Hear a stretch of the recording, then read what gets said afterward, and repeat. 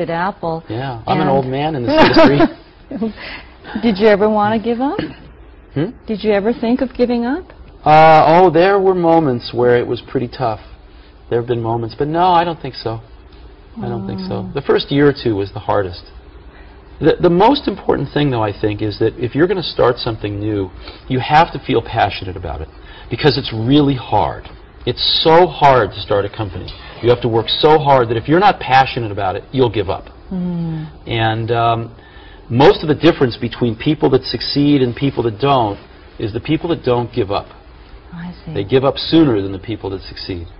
And um, you have to be passionate about it because it's so difficult. you are you've been called a visionary and Uh-oh. what uh-oh. How do you believe will be the role of the personal computer what do you think will be the role the personal computer should play The personal computer is, is entering um, its third great age. third grade age Third great age. The first great age started around 1980, and that was the age of productivity with the spreadsheets and word processors and things like that. Uh, and that primarily benefited businesses. Uh, about six or seven years ago, we began the second great age, which was the age of the internet. And uh, all of a sudden, not only businesses were benefiting, but but uh, regular people, consumers. We we could buy these for our homes, and our children could get on the internet. We could get on the internet, and it was tremendous. But now that's maturing a little bit, and we're beginning the third great age, which is the age of digital lifestyle, which is being triggered by all these wonderful digital devices, Right. most of which are coming from Japan. So we have digital camcorders, we have digital cameras, um, we have uh, DVD players, we have uh, handheld computers, we have cell phones, and all of these things, actually, the personal computer can make them even better. We first created the personal computer in and there was no personal computer in 1975 it's hard, it's it's very hard to believe Well, that's why we made one. Yeah. We made one because we wanted one, and we, we there there wasn't one, so we had to make one. Did you know that when you made the personal computer, though, that this would become a major industry? I mean, did you Uh, know like this? No, no. It took about a year before we started to sense it. I had a partner named Steve Wozniak, Right. Who's a brilliant guy, and uh, he did most of the engineering on the original Apple One and the Apple II. Mm-hmm. And after about a year, we showed it to our. We just made it for ourselves, Mm-hmm. and uh, and we showed it to our friends, and they all wanted one. Mm-hmm. And so we were busy making these computers by hand for our friends, and we it was taking all of our life uh, all of our spare time. Uh-huh. And so we decided we better manufacture a hundred of these to get, you know, so that we can not have to spend the rest of our lives making Mm-hmm. them for our friends. And that's how we got into this. We didn't think about starting a company. We were just doing it for ourselves, and then our friends, and then the circle got bigger and bigger and bigger. Now there's 25 million people. So you were having fun. Oh yeah, I, we've always had fun doing this. So many young people are aspiring to become, you know, startup venture, um, you know, venture uh, companies and Right. emulate um, something like Apple for themselves. And sometimes people come to me and say, I want to start a company. And I say, why? They say, oh, I want to make lots of money. I say, forget it. That's not a good enough reason. You will not, most likely you will not succeed. Most people that have started companies because they want to make lots of money, I haven't seen very many of those succeed. Um, the ones that succeed are people that come, sometimes they don't even want to start a company, they just have an idea that they want to get out, express out into the world. Mm-hmm. And oftentimes they have to start a company because nobody else will listen to them. Mm. You know, think different is easy to say. I mean, it's just two words. It's easy to say, but much harder to do. Mm-hmm. But it's a company of 10,000 people. How do you permeate the message throughout all the employees? What do you say to them? Well, you permeate it by um, uh, example, ultimately. Uh, and in other words, when something's not quite good enough, do you stop and make it better, or do you just ship it? You know, and everybody watches when you to see how the senior management makes those decisions. And what we've tried to do is stop and make it great before we ship it. When we have problems, stop and fix them. And and by example, uh, uh, you can say anything you want, but everybody watches very carefully when you're in a difficult situation ho- what decisions you make, Do what you- values you have. I mean, there are so many Japanese companies who are now trying to rejuvenate themselves, trying to instill a sense of sort of a venture spirit in their Mm-hmm. companies. And they would like to know how you do it.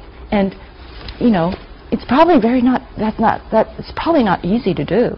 Yeah, you know, we try to hire really smart people, but we have a very simple organization, and we try to focus and do very few things well.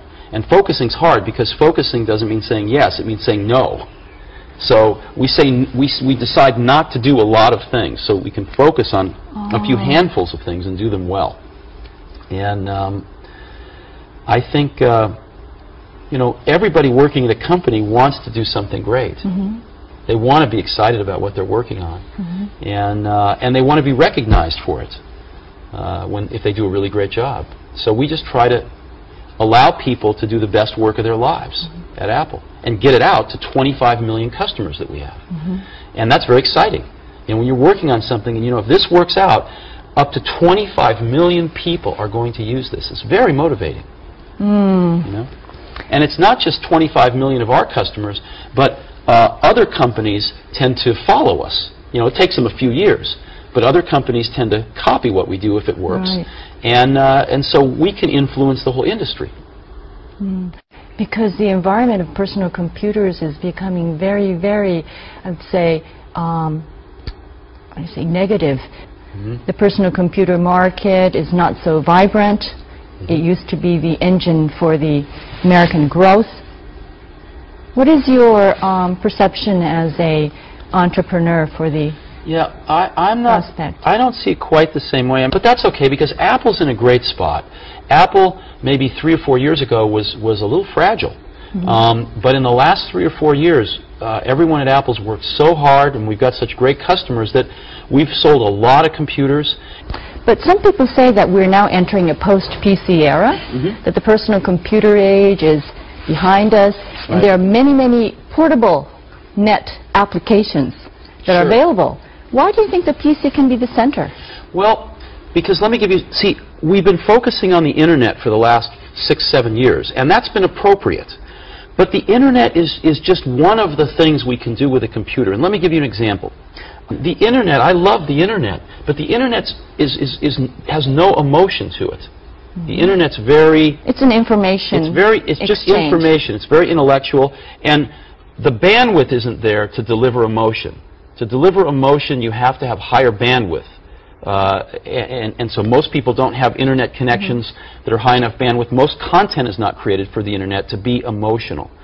And um, we see at Apple, one of the things we've always felt is that we want to stand at the intersection of, of technology and humanities.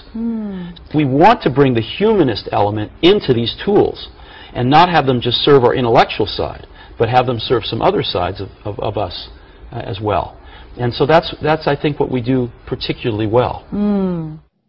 Why do you think you need to put emotion into it now, though? There's a lot of forces in life that tend to uh, tend to funnel us down into this institutionalized path, um, and where people, you know, in, in, where people sometimes forget that um, that they're very unique. And that they have very unique feelings and perspectives. And um, again, it's you know the whole computer industry wants to forget about the humanist side. Right. And just focus on the technology. And um, a lot of our industry focuses just on more is better, more megahertz and megabytes mm-hmm. and mm, you know s- speeds and feeds we call it. Mm-hmm. But we think there's a whole other side to the coin, which is what do you do with these things? Can we do more than just spreadsheets and word processors? Mm-hmm. Can we help you express yourself in richer ways? In your music, in your movies, in your photography, and these kinds of things that people want to do. Uh, do you have a camcorder? Mm, I do have a camcorder, Yeah. but not a digital. But you have a camcorder. Yes. And you, ta- you take lots of footage. Do you ever go back and watch it much?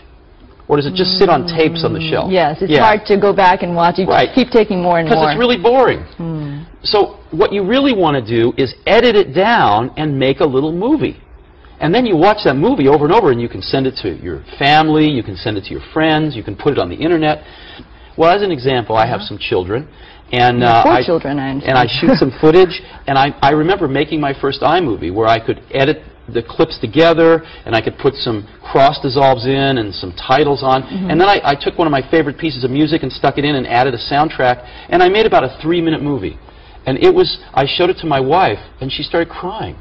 But you have to be so creative yourself. I don't know how many don't. people can be so creative as to want to spend their time making movies and, you know, listening to digital music. Maybe somebody like you who is very, very digitalized Well, actually, can, you know, can, can help. We've had over a million customers make movies now with iMovie. Mm-hmm. Over a million.